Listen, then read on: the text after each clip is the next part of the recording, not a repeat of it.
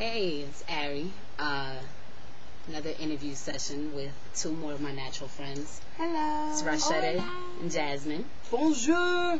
Or bonsoir. And this one speaks, she's like half French. She's not. Um, alright, so, Jasmine, you never, have you ever gotten a relaxer? Yeah. Alright, how old were you when you got your first relaxer? Nine or ten. Okay, and then when did you stop getting relaxers? Uh, eighteen. So I was like three years, that's it? And why did you even start? Because if you see, Jasmine has very loose curls, like, Um, cause I can only get it straight from root to closer to oh, the ends the would be curl. very bushy. Like Both my friends are black, oh, so you should know I'm the I'm the mixed one here, not them. Yeah, not that And uh, Miss Shutta, when how old were you when you got your first relaxer? I was about, I would say nine or ten, like jazz, Okay, and you stopped getting them. around my first year in college And why? because I realized that when my perm, like in between my perms, I got perms every three months. I never got them like the recommended six weeks or whatever. I got them like every three months. And in between like the growth periods, I noticed that my hair was like curly or whatever. So I was like, oh, let me try it, you know, natural. It was like out of curiosity, pretty much. And why did you stop getting them? because they invented chi irons. I'm not gonna get it, like very straight without no type of Yes, they they wear their hair straight. I I would say most of the time. Yeah. uh, Shutter wears her straight more than any of us. And I did the twist out style that I do on both of them. Mm-hmm. And it looked really nice. I, I actually put clips of what I was doing with Shutter so you can see what her hair looks like, like in a wash and go stage. Jazz's hair actually looks better when you just diffuse it, like turn your head. Right now, like her hair is really heavy, so all her curls are down here at the bottom. But like her, she, her hair can get really big. It's just that this is such a heavy style for her hair, and she had product in it. We didn't wash it out, whatever. But this, the- these, you know, these are the curls, which I will be doing as soon as I cut my hair in July. So, um, yeah, quick update about that. A few people said I should wait for my year mark. I think I'm gonna. So I think mid July, chopping it off, and then I'll show it. But then I also want to straighten it. So it's straight. What's sad? Why are you cutting? It? I gotta it? cut it. I don't want her to cut her. But she shouldn't. oh my god, it's such a project. Don't influence this. no, everybody B No. C B. No, yeah, seriously, everybody wants me to chop it, right? No. Do you like your hair better straight or curly? Or does it depend Depends. on what? Um, weather. Mm, Because obviously. my hair, it can mist outside, and my roots will be like waved, and then everything else will be straight, except for my ends, and it will be flipped. I'd rather have it curly during the summer. It's easier. It's like you don't have to walk around with a flat iron in your pocket. your exactly. hair every yes. 10 seconds. Nah, Oil man. sheen dripping down your face. like, What was this? not cute. Um, my cousin, she OD, she ODs with the Razak, the perfect Oh, for perms. God. So yeah, depends on the weather. And you? Weather in the winter, fall, early spring, straight. Mm-hmm. Midsummer, I mean mid spring, sorry, to summer, dead heat of summer, curling. It's easier. You can have fun with your hair. Wash and go is the greatest thing in the world. Mm, that's why. I, that's why I want to cut it because I can't do that. I can't wash and go with it like this. My roots are all poofy and then the ends are dead. It looks retarded. okay, so when you cut these ends off, How short is it gonna be? yeah, that's gonna be another thing I want to know. It's gonna be really Are you going to be able to accept that Yes, psychologically? yes. I don't care. I don't think she is. What are you talking about? No, I I'm gonna be believe it. fine. She's not gonna. I, don't. am. Are I'm you sure? fine. Because once you cut your hair, it's gonna grow. It'll grow. it will back. grow. It will grow. I mean, you just have to deal with it until it grows back. That's fine. I, I promise you. I see her with checks in her hair. I do too. Oh. you know what? I was thinking about if I don't like it or whatever, if I have an issue, I might just cornrow it up and buy a wig. Yeah. For real. She was the Yo. from Halloween. no lace fronts. No lace fronts. I don't mind I'm the lace you right back. fronts I'm gonna call you if they're back. done right. You know what I mean? Like celebrities could rock lace front. No, I mean yeah, because that's right. because the lace fronts are five thousand, six, seven thousand dollars. thirty dollar lace fronts. It's handcrafted, manufactured, factory line lace fronts should be all set on fire, and the ashes should be spread across the Atlantic Ocean. Oh my god! When you end up on, you know you dead ass wrong. Don't say Hmm. you didn't get the warning on the hair channel for you. Ah! For real. Whole wigs are better. Yeah. Period.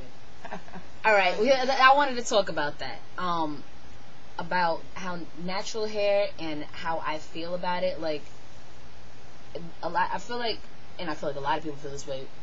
A lot of women, when they wear their hair natural, they put like a flower or whatever, you know, and that's cute and all.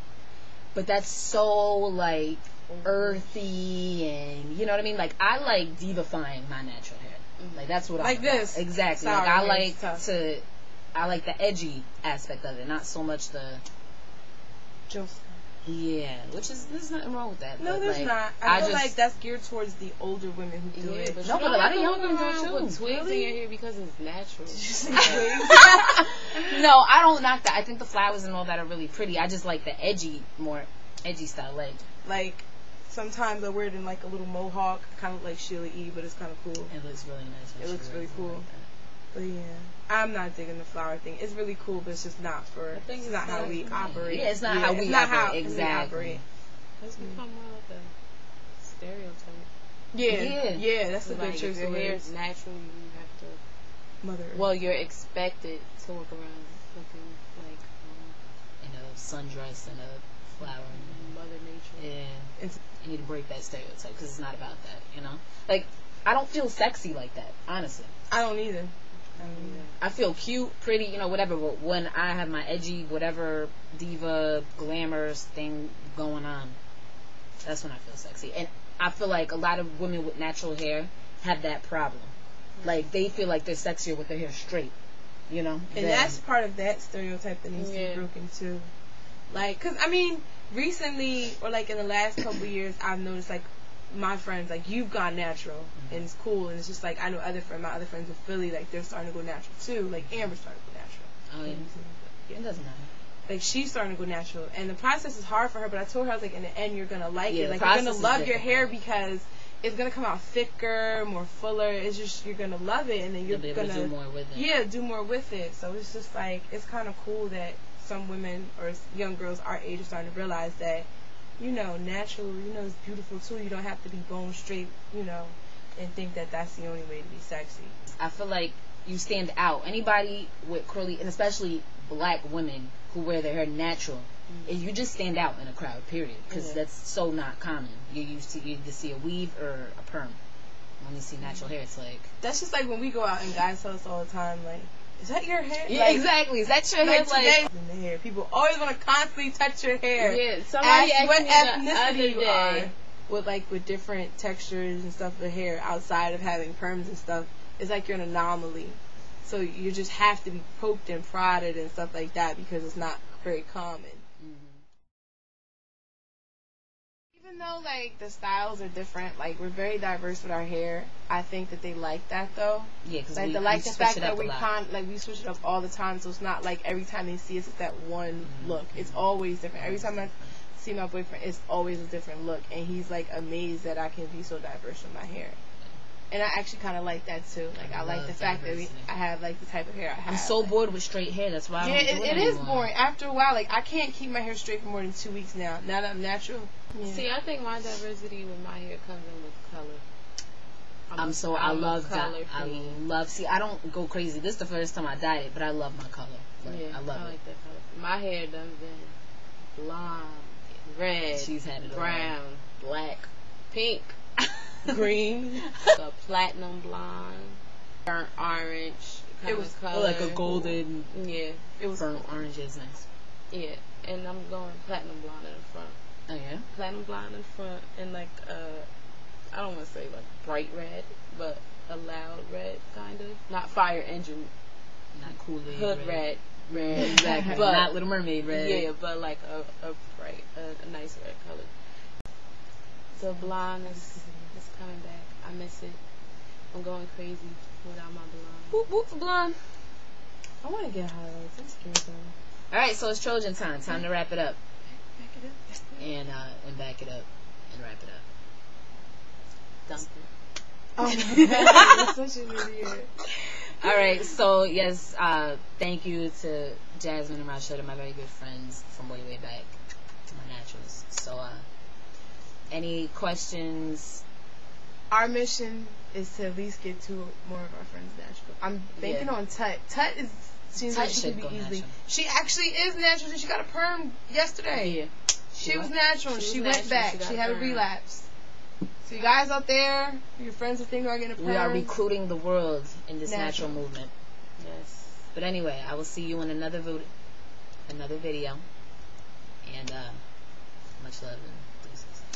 Deuces.